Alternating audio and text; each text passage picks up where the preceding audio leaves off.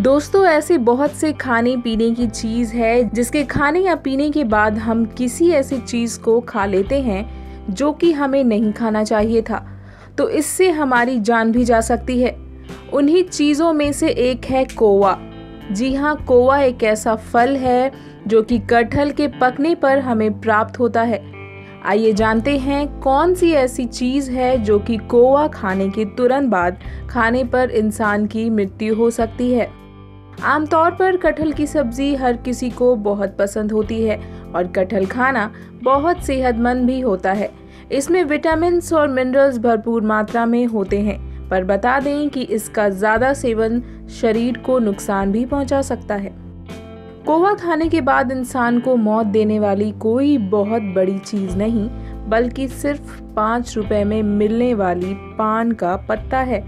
जी हाँ यदि आपने भूल कर भी कौवा खाने के बाद तुरंत पान खा लिया तो आपकी मौत पक्की है।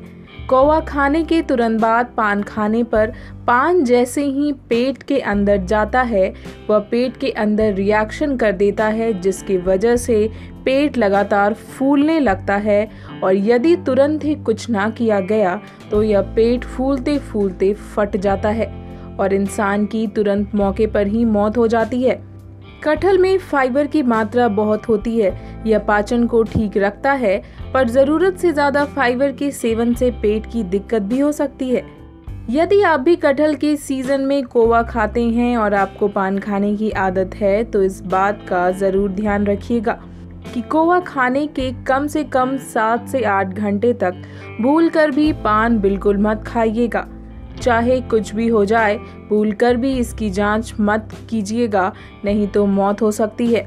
आइए अब आपको बताते हैं कोवा के बाद पान खाने के क्या दुष्प्रभाव पड़ सकते हैं। पहला, हो सकता है पेट गड़बड़।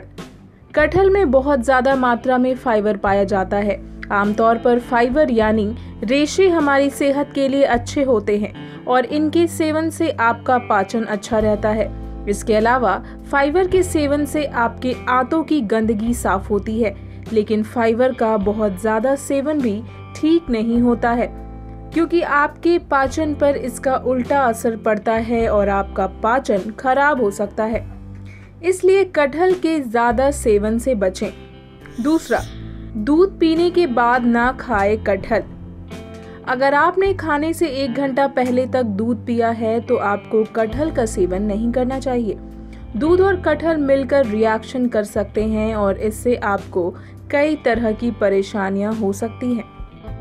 कटहल के ज़्यादा सेवन से आपको चर्म रोग जैसे दाग, खाज, खुजली एक्जिमा और सोराइसिस आदि का खतरा होता है। पके कटहल का सेवन ज़्यादा ना करें। पका कटहल खाने में स्वादिष्ट लगता है क्योंकि इसका स्वाद खट्टा मीठा होता है। मगर आपको बता दें कि पके कटहल का ज़्यादा सेवन आपको सर्दी जुकाम, खांसी जैसे रोगों का शिकार बना सकता है, क्योंकि कटहल कफ वर्धक होता है। इसके अलावा पके हुए कटहल का ज़्यादा सेवन करने से आपका पेट फूल सकता है। आइए अब आपको बताते हैं कि कटहल खाने के बाद पान क्यों नहीं खाना चाहिए।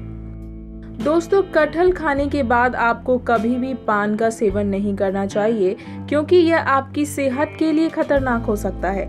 इसके अलावा जिन लोगों में पित्त की अधिकता होती है, उन्हें भी कटहल का सेवन कम करना चाहिए।